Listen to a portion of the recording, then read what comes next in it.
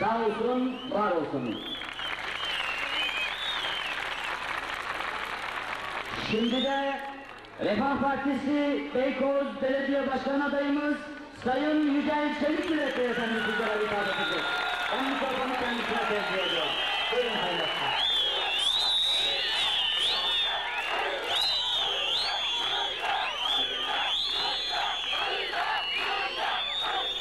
Muhterem Genel Başkanım, çok değerli başkanım, bölge milletvekili, ilçe başkanım ve çok değerli Gümüşbük kardeşlerim, hanım bacılarım, sevgili çocuklar. Hepinizi hürmetle muhabbetle selamlıyorum. Gününüz mübarek olsun, geleceğiniz aydınlık olsun inşallah.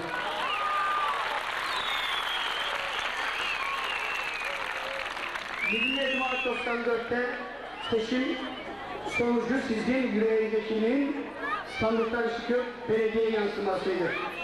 Ancak zannettiler ki akan suyu durdurmak mümkün olacak. Zannettiler ki sizin gücünüzün önüne baraj koymak mümkün olacak.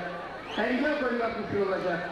Heyhat bunu başaracaklarını zannedenler Allah'ın izniyle 10 Temmuz günü akşamı ne kadar yanıldıklarını, ne kadar hata ettiklerini daha iyi anlayacaklardır. Çünkü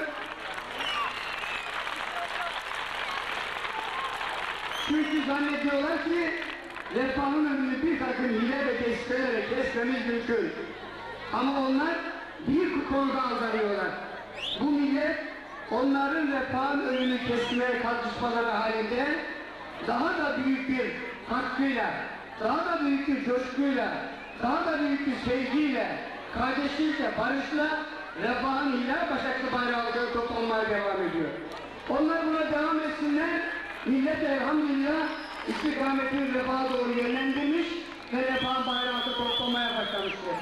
Şu tabi onu gösteriyor. Şu anda baktığım manzarada gördüğüm şu, Beykoz'un ana vatanlı kardeşi. Doğru yolcu olan insanlar. Destekleri olan kardeşlerimiz. Doğru yollu kardeşlerimiz. Beykoz ve Fatih'i elimizden alacaklarını zannediyorlardı. Nevşehir'i alacaklarını zannediyorlardı. Ama Allah'ımız selam olsun, Nevşehir daha gül olarak geri geldi.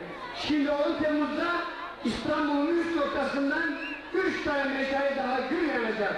Ama Allah'ın izniyle bir daha sönmemek üzere yanacak. Beykoz'da yanacak, Fatih'te yanacak ve Yalova'da yanacak. İşte bu üç meşale inanıyorum ki icazın üç kıtaya hakim olduğu dönemlerin başlangıç meşalesi olacak.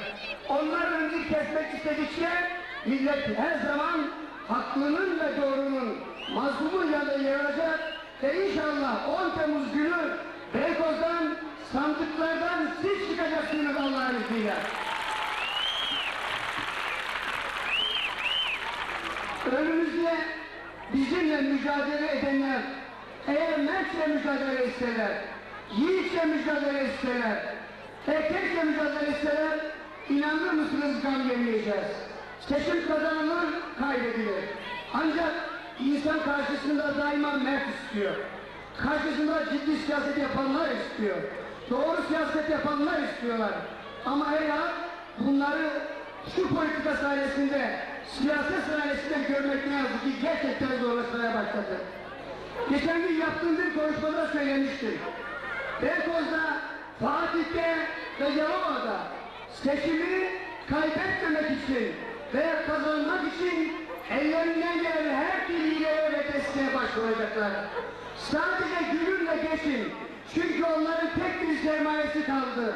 Yalan, iftira ve sahte evlat düzenlemek, tanzim etmek ve sizlere anlatmak. Onun için aldanmayın. 70 yıldır aldattılar. Ama bundan sonra aldatmalar mümkün değil. Artık sizlerin aldanacak ne gücü kaldı, ne takatı kaldı, ne de başka durumu kaldı. Onun için aldanmayacağız, onlar aldanacaklar. Pişman olacaklar, nedamet duyacaklar ve 10 Temmuz'da Allah'ın izniyle sandıklardan sizler çıkacaksınız.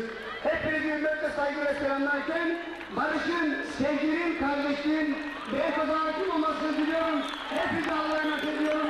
Saygılarımı hürmet veriyorum.